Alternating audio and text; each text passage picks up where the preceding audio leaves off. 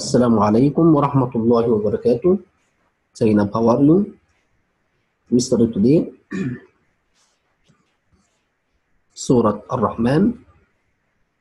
Focus. Start a number 20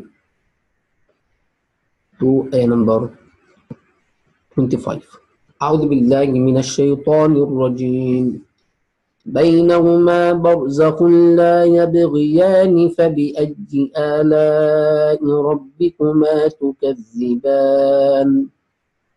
يخرج منهما اللؤلؤ والمرجان فبأي آلاء ربكما تكذبان؟ وله الجوار المنشآت في البحر كالأعلام.